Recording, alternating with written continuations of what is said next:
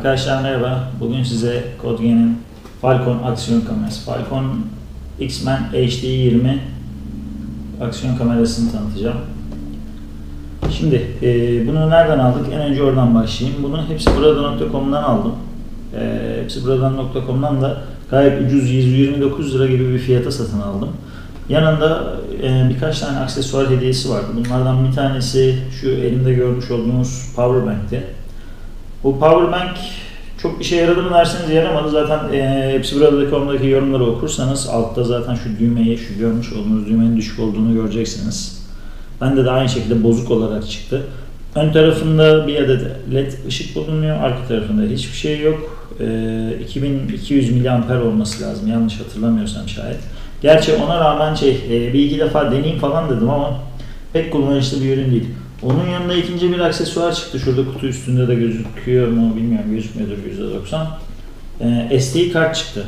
SD kart da şu anda kameranın içinde. SD kartın da özelliklerini hemen size kısaca anlatayım. Ee, Philips'in Class 4 8 GB bir SD kartı çıktı. Yani e, bu kamera için kullanılabilir? Evet bu kamera için kullanılabilir. 8 GB da yeterli olabilir. Ama normal e, düzgün bir aksiyon kamerası kullanıyorsanız zaten e, biliyor olmanız gerekir ki Class 10'un altında yani 10. sınıfın altında bir SD kart kullanmamanız gerekiyor. Şimdi gelelim kameramıza. Kamera e, aslında eBay'de, AliExpress'te satılan kameraların üstüne Kodgen damgası vurularak Türkiye'ye getirilmiş hali anladığım kadarıyla. Çünkü araştırma yaptığımda bu e, eBay ve AliExpress'te de bu kameradan birkaç tane muadilini buldum. Şimdi kutuyu ben kendim açtım normalde paket değildi fakat üstündeki jelatini falan kopardığım için tek tek çıkartıp içindeki aksesuarlarla beraber masanın üstüne sıralama size teker teker tanıtmaya çalışacağım. Önce kameradan başlayalım. Şimdi kamera e, görüntü itibariyle evet gerçekten kaliteli bir görünümü var kameranın. Yani böyle dandik Çin malı gibi falan durmuyor. Gayet şık, ufak, bile de gördüğünüz gibi ufak bir şekilde oturan bir kamera.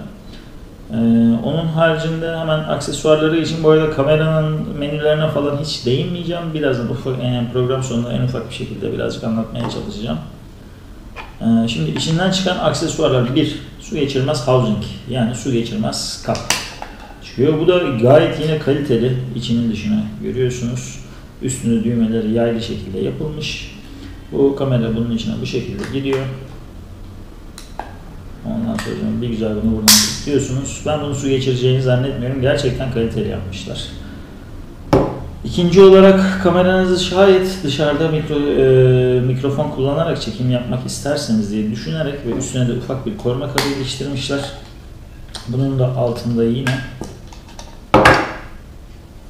gördüğünüz gibi tripod bağlantı civatası da var. Bunu bu şekilde kullanabiliyorsunuz. E, bu da gayet hoş aslında. Yani e, bir yerde GoPro'larda kullandığımız çerçevelere eşdeğer bir şey yapmışlar. Onların haricinde bir adet kask aparatı geliyor. Üstünde parçasıyla beraber açılı ayağıyla birlikte geliyor. Ondan sonra kaskınıza bağlamanız için bir adet kemer geliyor. Yani fakat bana gelen kemer o kadar dandikti ki kenarları kırıktı. Şimdi ben size buradan gösteremiyorum bunu ayrıntılı bir şekilde ama kullanamadım açıkçası. Ondan sonra bunun haricinde bir adet bantuzlu cam ayağı geliyor. Evet bu gerçekten işe yarıyor. Ben bunu GoPro'da kullanıyorum. GoPro'm için e, ayrı bir aparat aldım. Normal tripodlara bağlanabilme özelliği olsun diye. Gerçekten işe yarıyor. Bunu GoPro'da sık sık kullanıyorum. Ama bu kamerada bir kere kullandım. O bir kere kullandığımda da görüntülerden hiç hoşlanmadığım için bir daha bu kamerayı kullanmadım zaten. Ee, onun haricinde bir adet gidon bağlama aparatı geliyor. Bunu ister gidona bağlayın, e, isterseniz herhangi bir yuvarlak masa sandalye falan e, balkon kenarına bağlayıp timelapse yapmaya çalışın ama bu kamerada zaten timelapse falan yapamayacağınız için yani çok gerekli bir aparat değil. Zaten kamerada da inanılmaz bir titreşim var. Birazdan oraya da değineceğim. Onun haricinde araç şarjı ama bana göre bu araç şarjı değil arkadaşlar. Bu bildiğimiz minibüs şarjı. Peugeot J91 minibüsünüz varsa en önde şoföre uzatıyorsunuz. O size en arkaya kadar geliyor. Bu yaklaşık 2 metre uzunluğunda bir kabloya sahip olan bir araç şarjı geliyor. Bu konuda abartmışlar ama çok da iyi olmuş aslında. Yani GoPro'da da bu şekilde olsaydı çok güzel olurdu diye düşünüyorum. Bunların haricinde işte içinden ee, bir kullanım kılavuzu çıkıyor. Türkçe menülü. işte kullanımı ile ilgili şeyler, tikler falan, tipler bilmem neler anlatıyor. Ama zaten kameranın o kadar basit bir kullanımı var ki buna çok fazla gerek duymuyorsunuz. Bunun haricinde ne var? Evet, normal bildiğiniz şarj aparatı. Yani USB kablosu, bir ucu mini USB, bir ucu da normal USB. Yani bunu standart bilgisayarcılardan da bulabileceğiniz bir şey. Şimdi gelelim kameranın menü kısmına. Bilmiyorum sesi duydunuz mu? Kamera açılırken bir ses çıkıyor ama bunu duymak için gerçekten maharet istiyor. Kameranın 3 tane modu var. Şu anda görülüyordur belki. Biraz kamerayı doğru yakınlaştırıyorum. En üstteki mod fotoğraf modu, ortadaki mod normal video çekim modu. Biraz zorluyor zaten geçerken. En alttaki mod da e, araç çekim modu. Yani anladığım kadarıyla araçta titreşim için yapmışlar bunu ama ben pek bir işe yaradığını görmedim. Onun haricinde menüsü gayet kolay, basit. Üstünde iki adet tuşu var. Bir tanesi çekimi başlatıyor, e, durduruyor. Bir tanesi de makineyi açıp kapamak için. Şu şekilde sağdaki çekimi başlatır, durdurur. Soldaki de makinenizi yani aksiyon kameranızı açıp kapatmanız için. Ee, onun haricinde size anlatmam gereken iki tane seçenek var kamerada D1 e, ve HD seçeneği. Anladığım kadarıyla kameranın da üstünden de görüleceği gibi e, bu HD dedi 720 pikselde çekiyor.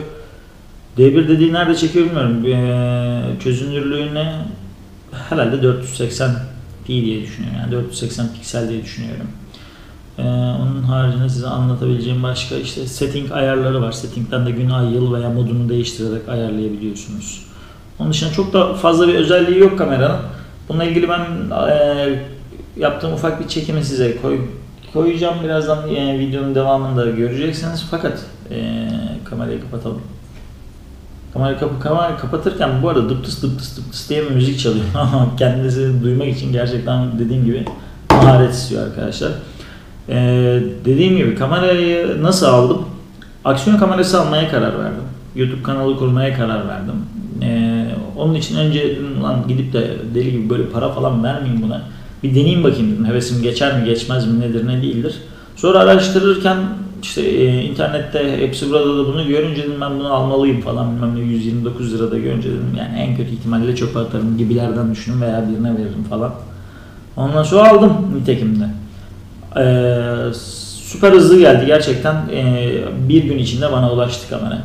Ertesi gün tabi heyecanla hemen kamerayı açtım, arabayı bağladım falan ama görüntüler berbattı. İnanılmaz bir titreşim vardı ki arabayla çekim yapmama rağmen. Ondan sonra e, gece çekim yaptım. Gece zaten kesinlikle çekim falan yapmayın yani moraliniz bozulur. Bir şey görünmediği gibi inanılmaz bir karıncalanma var. Gerçi hoş yorumlarda bu kamerayla ilgili işte fiyat performans falan bilmem ne işte fiyat performansa göre çok iyi demişler ama Bence değil. Bence 100-200 e, lira daha verip en azından bir Next AE falan bir şey almak gerekiyor. Çünkü bu kamerayla yani aldığınız şeyi e, verdiğiniz fiyat o vereceğiniz 125 milyon lira ha, ne olur GoPro kullanıyorsanız ve tripod aparatınız varsa aksesuar almış olursunuz ki ben nitekim şu anda onu yapıyorum artık. Bunun aparatlarını GoPro'mda kullanıyorum. Ha GoPro vardı niye bunu aldı demeyin. Bu kamerayı gördükten ve kullandıktan İki gün sonra hemen gidip GoPro aldım kendime. Çünkü yani bu kamerayla hiçbir şey yapamayacağım bariz belliydi. Onun haricinde benim size anlatmak istediğim başka da bir şey var mıdır? Şimdilik yok arkadaşlar. Ee, düşünüyorum. Ha ee, var. Evet aklıma geldi? Bu aralar şeyi takmış durumdayım. İnşallah onu da yakında e, siparişini verdim. Geldiğinde tekrar tanıtımını yaparım. CJ4000 diye bir kamera var. eBay'de ve AliExpress'te satılıyor. GoPro muadili çakması, replikası bir kamera ama e, görüntülerinin kötü olmadığını duydum. Artı kullanan arkadaşlarım e, gayet memnunlar. Artı YouTube'daki görüntülere baktığımda gerçekten kötü görüntüleri olmadığını görüyorum. Fakat onda da şöyle bir ayrıntı varmış.